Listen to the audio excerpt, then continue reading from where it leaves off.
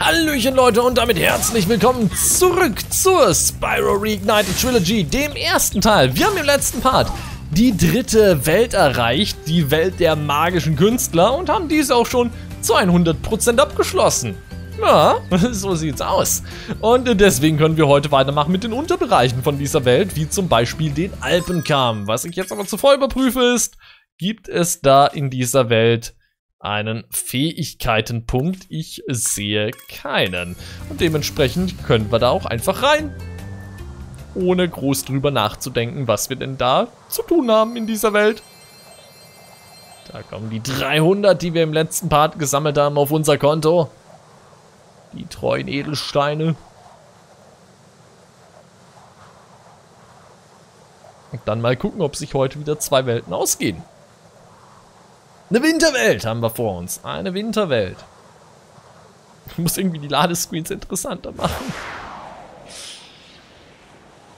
Ist das denn jetzt auch eine Winterwelt? Ich meine, nach so einem Ladescreen Spyro kannst du gerne ein bisschen schneller landen, aber gut, dann äh, tricks halt, gib halt noch ein bisschen an vor den Zuschauern. Ist eine Winterwelt.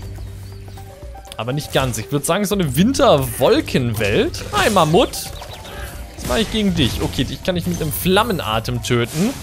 Im Gegensatz zu dir. Dich kann ich nämlich nur mit Anlauf töten, denn du hast eine Ritterrüstung an, beziehungsweise hast eine Ritterrüstung zurechtgelegt. Oh, der wollte gerade irgendeine Stampfattacke auf mich machen.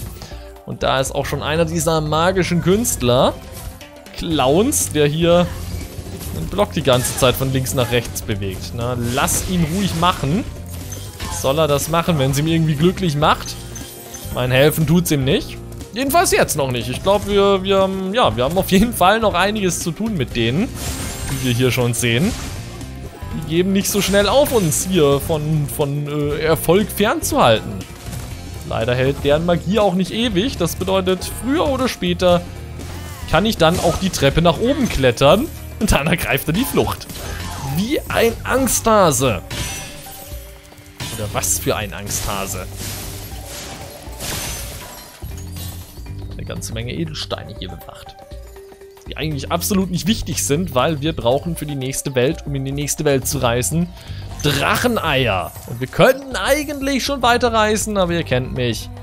Wir sammeln die 100% und dementsprechend sind wir gerade ja auch noch hier. Weil wir noch eine ganze Menge Unterbereiche zu erkunden haben. Bin gerade wieder in der Aufnahmesession, das bedeutet, keine Ahnung, ob ich in der letzten Welt was verpasst habe. Das habt ihr mir hoffentlich in die Kommentare geschrieben. Oh, Spyro, du hast doch keine Angst vor diesen großen, lauten, schrecklichen Bestien, oder? Natürlich nicht. Oh, gut, das dachte ich auch nicht. Dann kann ich im, in der nächsten Aufnahmesession, nicht im nächsten Part, weil ich glaube, den nächsten Part werde ich heute noch aufnehmen. Ähm, kann ich dann darauf eingehen, sollte ich irgendwas verpasst haben. Vielleicht komme ich auch selbst drauf. Vielleicht beende ich das Spiel heute. Nee, ich glaube nicht. Ich glaube nicht. Wir haben ja gerade mal erst 38%. Da kommt noch einiges auf uns zu. Aber es ist schön, dass das Spiel einen Prozentcounter hat. Also weiß man dann immerhin, weil man die 100% erreicht hat. Das finde ich immer sehr, sehr schön in Spielen. Wie zum Beispiel auch in dem neuen Kirby Super Clash, wo es ähm, diese, diese 900 Kronen zu sammeln gibt. Wenn du die hast, dann, dann kannst du auf jeden Fall von dir behaupten, dass du ein krasser Kirby-Zocker bist. Und kann ich bitte aufhören, diese Gegner versuchen zu wollen, mit einem Flammenatem zu töten? Das funktioniert nicht ultra, wie du sehen kannst. Aber hier ist immer eine große Anzahl an, an Edelsteinen. Das finde ich erstaunlich. Gegner droppen immer einen Fünfer, in den Kisten ist immer ein Fünfer oder sogar ein Zehner drin. Die Zahl geht schnell hoch. Nicht wahr, Eldrit? Hatten wir den Namen nicht schon mal? Danke, dass du mich befreit hast. Die Sprüche werden auch immer weniger. Immer weniger haben die Drachen für uns zu sagen, denn mittlerweile kennen wir das alles. Vielleicht haben die Entwickler ja auch mittlerweile ein paar Sprüche rausgestrichen aus der Switch-Version. Ich weiß es nicht. Vielleicht ging sich das nicht aus auf der Cartridge und dann mussten die ein paar Sprüche kürzen. Keine Ahnung. Äh! Ja, das kam auf jeden Fall überraschend. Glückwunsch. Hast mich überrascht. Kann nicht von allem behaupten. Jetzt habe ich... Ah, okay, ich habe noch Sparks. Okay, ich hatte schon Angst, dass wir Sparks wieder verloren haben. Da geht's rein. Eine Schatzkammer oder so. Okay. Bewacht von Bestien. Äh, hi. Steht der einfach da ums Eck. Aber man, ja, hier liegt richtig viel Geld rum. Da kommen wir sogar über die 300 Gems hinaus. Ja, ich beschwere mich nicht, ne? Wir kommen immer näher den 100% dadurch. Insgesamt gibt es ja, glaube ich, 11.000 Gems. Da kommen wir mit 400 pro Level auf jeden Fall weiter als mit 300. Gut gemacht, Spyro. Wenn du so weitermachst, kennst du bald alle Tricks der Welt der magischen Künstler. Das würde ich jetzt nicht sagen. Ich meine, wir haben gerade erst angefangen mit der Welt, aber danke für die aufmunternden Worte. Vielen, Dank. Wir haben noch immer nicht alle Drachen gefunden. Da wird es wieder zurück zum Start gehen. Da wollen wir aber nicht hin. Denn wie ich sehe, habe ich da hinten noch einen ganz großen Bereich übersehen. Den wollen wir natürlich auch noch erkunden. Dann dürften hoffentlich... Äh, ich bin aber auch, ne? Bin eine Hohlbirne. Ich renne auf den zu mit dem Hintergedanken, Ultra, mach, mach kein Feueratem, mach, ne, mach einen Renner. Was mache ich? Ich mache einen Rennangriff. Ich bin intelligent. Ist jetzt offiziell draußen, ja. Jetzt weiß jeder, dass ich intelligent bin. Okay. Ja, irgendwas haben wir übersehen. Vielleicht da unten dieses, diesen Seerosenkreis. Da könnte ein Krog zu finden sein. Mal falsches Spiel. Ah, guck da drüben. Auf den Säulen. Kommt man denn da hin? Und da höre ich auch, glaube ich, einen Kollegen mit einem Ei. Der hier sich schlapp lacht. Das ist eine gute Frage, wie man da hinkommt. Ich meine, wir können bestimmt von hier oben losfliegen. Die Frage ist, ob das richtig ist. Ich versuche mal den Eingang da zu treffen. Das funktioniert auf jeden Fall. Sehr schön. Dann haben wir hier sogar einen Drachen. Das dürfte auch der letzte sein, der Kelvin. Denkt dran, die blauen Diebe haben auch außerhalb der Welt der magischen Künstler Eier gestohlen. Keine Sorge, ich kümmere mich um sie. Ja, das war der letzte. Und da haben wir noch ein Ei. Müssen sie ja jetzt sowieso ein paar mehr Eier verstecken. Immerhin braucht man die ja, um weiterzukommen in die nächste Welt. Bin gespannt, wann wir da alle haben. Immerhin gibt es davon ja nur 16. Oder? Ups, das wollte ich nicht. Wird nicht wirklich angezeigt. Na gut viele es davon gesamt gibt. Oder? Wurde das, wurde das gerade irgendwie oben? Nee, wurde nicht. Da wird nur die gesamte Anzahl an, an äh, Gems angezeigt und davon gibt es 12.000. Und wir haben gerade mal 3.000. 3.000. Das ist, ähm, ein Drittel? Nee, ein Viertel. Na, ein Viertel. Ich glaube, nach dem Level haben wir dann ein Drittel. Der ist aber schnell drauf. Bleib stehen! Ich muss die Kurven ein bisschen schnittiger nehmen. Ich den aufhole. Das ist auch leichter gesagt als getan. Aber geschnappt ist geschnappt. Sehr schön. Damit haben wir acht Eier. Ja. Die Hälfte, glaube ich. Würde ich sagen. Ich renne noch mal eine Runde. Um zu gucken, ob ich hier eh nichts übersehen habe. Und um zu gucken, ob ich vielleicht von hier oben eine bessere Ausgangsmöglichkeit habe, auf diesen Plattformen zu landen. Aber nein, habe ich nicht wirklich. Na dann drückt mir die Daumen, dass es nicht abwärts geht. Okay. Äh! So viel dazu. Das ging schnell schief. Viel zu schnell für meinen Geschmack. Spawn ich wenigstens wieder beim Drachen. Den wir hier aktiviert haben. Ja, spawn nicht. Dankeschön. Okay, wie mache ich das? Das ist eine gute Frage. Ich meine, ich muss, glaube ich, zurück. Ich glaube, der, der ist super gelandet. Okay, aber Sparks holt ihn mir. Oh, ist das ekelhaft hier. Ist das ekelhaft.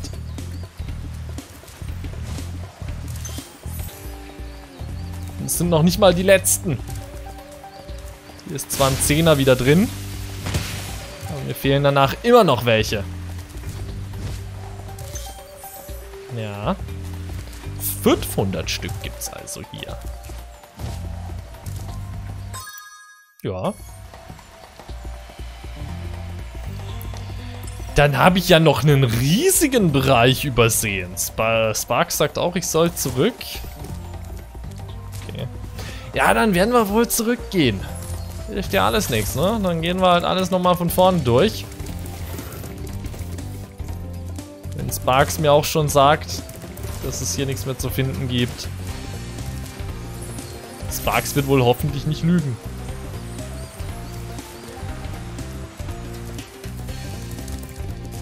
Einmal hier rüber zum Anfang.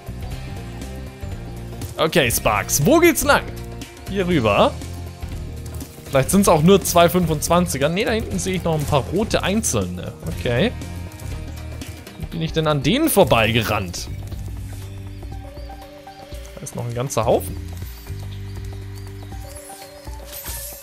Da muss ich, glaube ich, rüberfliegen. Da sind auch noch richtig viele Gegner. Aber wie?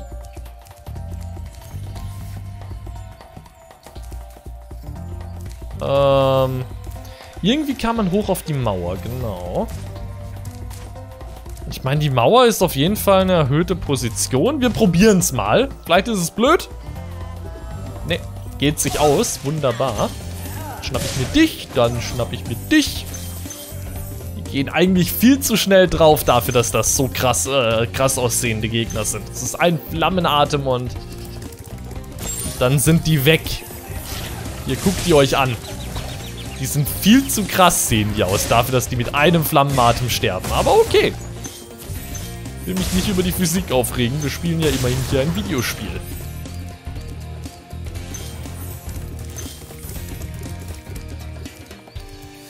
Na gut. Hier gibt's nichts mehr. Gehen wir weiter.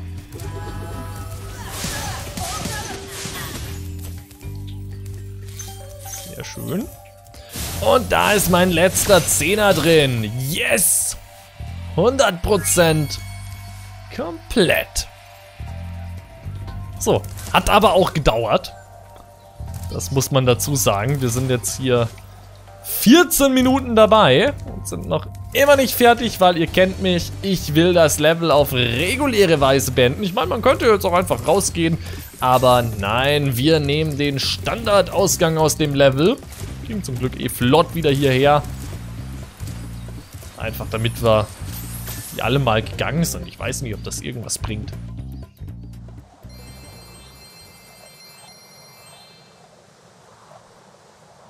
Ja, und wenn wir noch 200 finden, dann haben wir ein Drittel.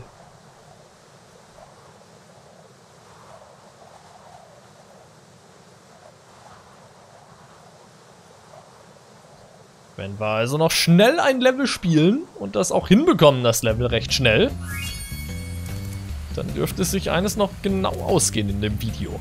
Das hat nämlich jetzt genau die Hälfte der Partzeit weggenommen. Die Frage ist, welches nehmen wir? Ich glaube, hier oben gab es eines. Genau, die luftigen Höhen. Höhlen. War das das Fluglevel? Boah, da habe ich gar keinen Bock drauf eigentlich gerade. Wenn das wirklich das Fluglevel ist. Die Fluglevel sind so schwierig in dem Spiel. Für meinen Geschmack. Ist auf jeden Fall das kniffligste, die Fluglevel hinzukriegen.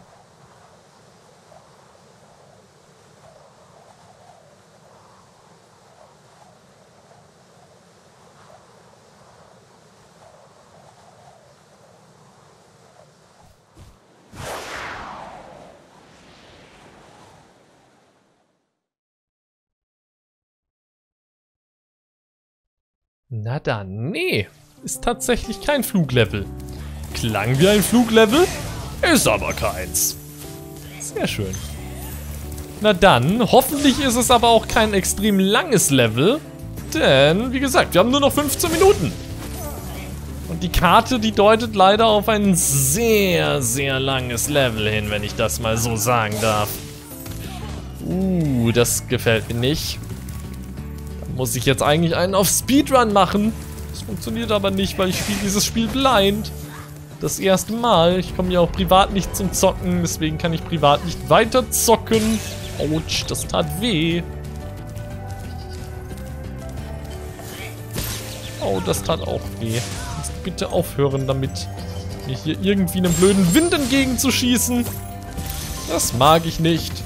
Cyrus, hast du einen Tipp für uns? Hier aus Octopath Traveler. Bitte unternimm etwas gegen die grünen Druiden. Die müssen immer alles verschieben. Okay, also die Kollegen da drüben.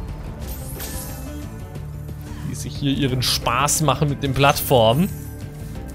Und da lag noch ein Zehner. Interessant. Aber ich glaube, wir sollten zuerst den anderen Weg lang gehen. Hier gab es ja noch einen zweiten Weg. Und abgesehen davon gibt es hier auch noch einen Weg. Richtig viele Wege hier.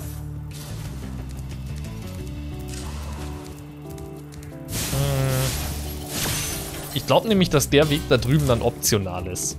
Vielleicht ein Drache oder so nach einem extrem langen und schweren Weg. Äh, wie du überlebst das? Wie du überlebst das? Kann ich dich töten? Vielleicht ist das ein Gegner, den man nur töten kann mit... Äh, ich bin ja schon weg. Ich bin nämlich jetzt gestorben und ich habe keinen Bock auf Sterben. Das ist nur ein Gegner, den man mit dem Supersprint töten kann. Das kann ich mir vorstellen. Bin ja schon weg. Bin ja schon weg. Der sieht mich auch nur, wenn ich unten bin. Das ist witzig. Bin ja schon weg. mit dem ist nicht zu spaßen. Hi. Ausgetrickst. Und jetzt auf geht's. Muss schnell sein. Uh. Bin ich irgendwie an einer unsichtbaren Wand hängen geblieben. Da werde ich nicht alle Gems mitnehmen können. Das wird nicht funktionieren. Oder? Alter Babo!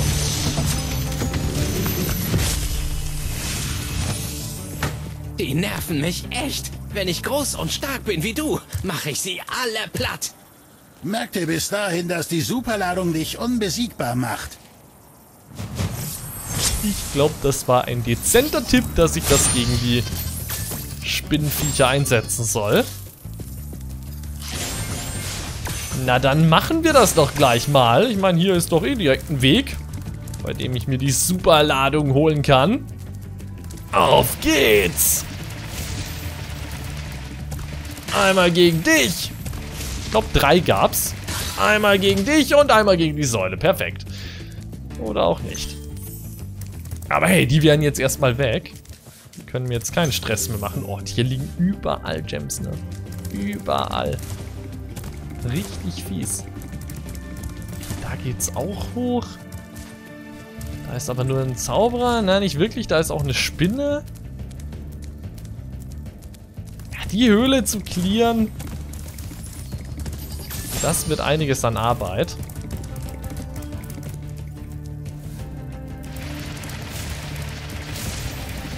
Vor allen Dingen, weil die Kurve auch so schnittig ist, die man hier nehmen muss, wenn man die Superladung hat. Um überhaupt erstmal in die Höhle reinzukommen. Na gut. Komme ich da überhaupt hoch? Nein, komme ich nicht.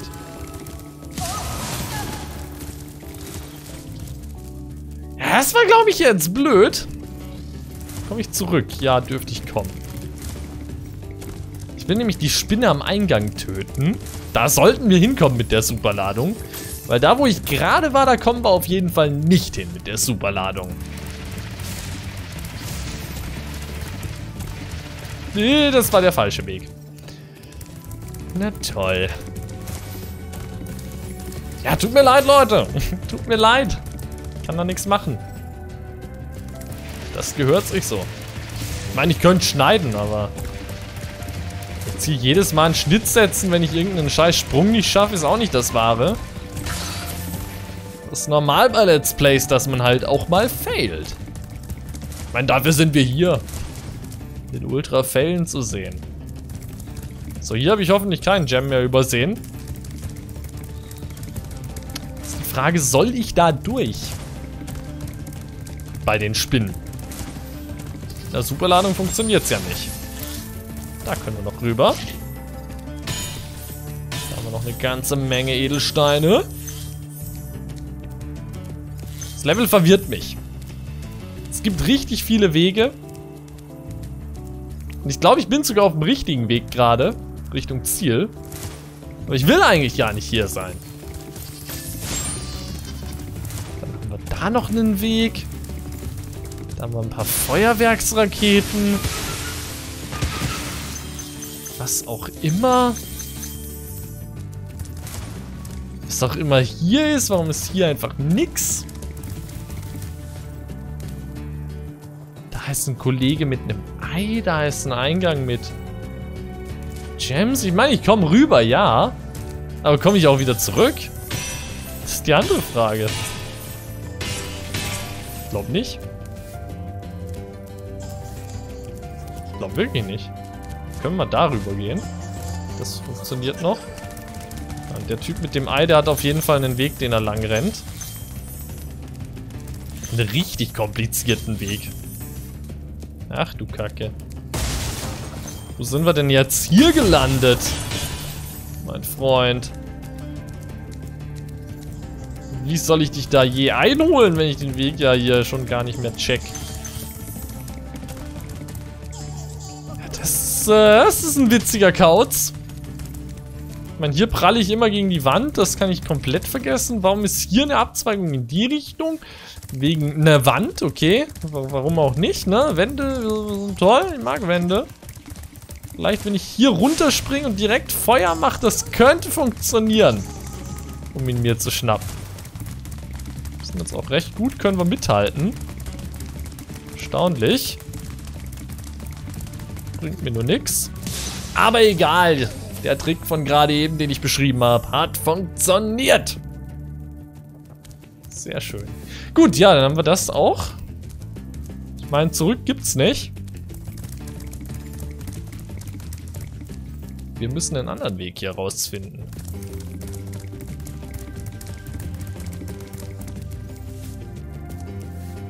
Frage ist, wo? Ich meine, mich in den Tod zu stürzen, wird nicht die richtige Lösung sein. Und ein Sprung von hier rüber? Ihr seht's, ja, gut. Da habe ich mich halt in den Tod gestürzt. Ah, und dann retten mich sogar ein paar Feen.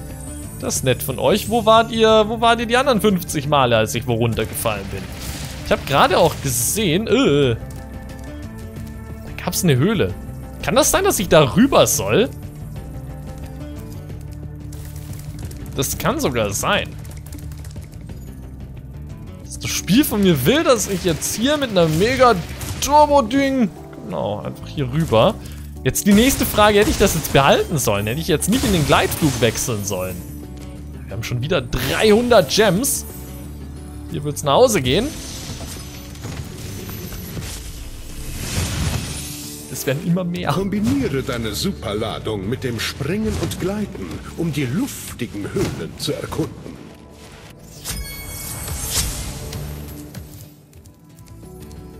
Richtig viele Edelsteine. Da sind die Feen. Warten nur drauf, dass ich runterfall. Ja, nee, den, den Gefallen tue ich euch mal nicht. Okay, also wir wissen, wo die Stage vorbei ist. Das ist doch auch schon mal etwas. Das heißt, wir haben eigentlich nur noch den Gang hier. Würde ich jetzt behaupten. Ich weiß nicht, wo ich hier eine Superladung herbekommen soll. Irgendwo muss es hier noch eine Superladung geben. Damit ich auch hier die Spinnenbiester töten kann. Was bist du? Hi. Okay. Ich glaube, wir haben mit Superflamme. Kann das sein? kommt das auch vor. Ah, und damit kann ich dann auch die Spinnenviecher töten. Okay, gut, dass wir das ausprobiert haben. Ja, das ist äh, ein Kuss von der Fee. Das mir anscheinend Superfeuer gibt. Ich bin selbst überrascht.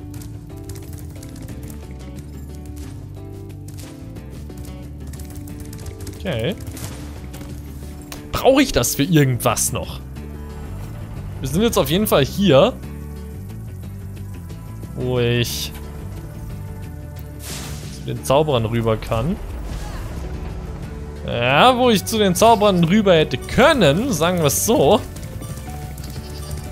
Kann ich denn auch von hier aus rüber? Ist die andere Frage. Ich würde eigentlich schon jetzt gern nicht nochmal den kompletten Weg gehen. Ja, funktioniert auch. Dankeschön. So, Schluss mit dem Schabernack hier. Und da ist natürlich nichts, was mich rettet. Natürlich. Wo werde ich ihn rausgelassen?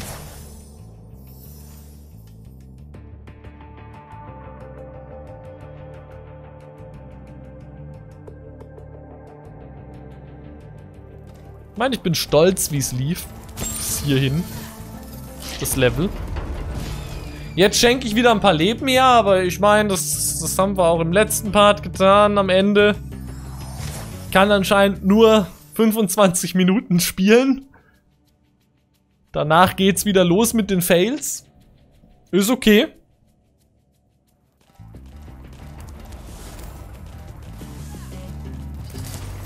Wieso habe ich den Sprung auch nicht geschafft? Darüber. Ich meine, so schwer ist der Sprung darüber nicht. Ja. Das ist halt ein mega einfacher Sprung. Ich bin halt nur einfach blöd gewesen. Das ist zweimal. So, aber wir haben trotzdem noch nicht alle Gems. 450 wäre auch eine schöne Zahl gewesen, um das Level mal zu beenden. Aber nein. Das macht das Spiel dann auch nicht. Gut, ja, dann brauchen wir noch irgendwo 50 Gems. Sparks sagt irgendwo in die Richtung. Dann werde ich nochmal durch die Höhle brettern. Mal gucken, ob mir das irgendwas bringt. Hui.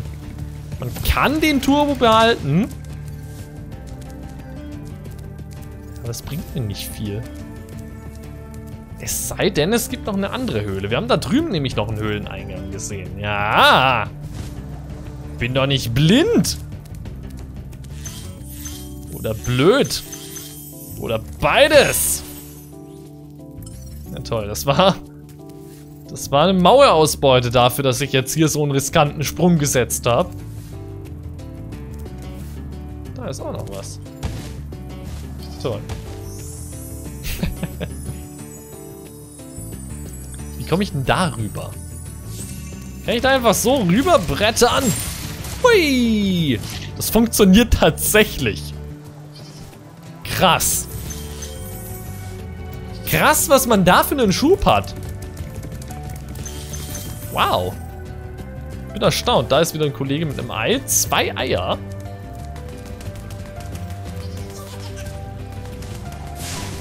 Wie hole ich mir den? Gute Frage. So hole ich mir den. Sehr schön. Ein weiteres Ei. Dürften wir 10 haben. Ganz schön flott in der Welt mit den Eiern. Und da ist mein Rest an Gems hoffentlich. Wieder 500 Stück. Na, da will ich mich doch nicht beschweren. Kann man schön ausgeben. So, dann bringt mich mal rüber, Feen. Ich wäre bereit für noch eine Runde. Und zwar eine Runde zum Ziel. Dann sage ich vielen Dank fürs Zusehen. Das war die Spyro Reignited Trilogy für heute. Abonnieren, Daumen hoch, wenn es euch gefallen hat und beim nächsten Mal wieder einschalten. Ich war der Ultra. Auf Wiedersehen.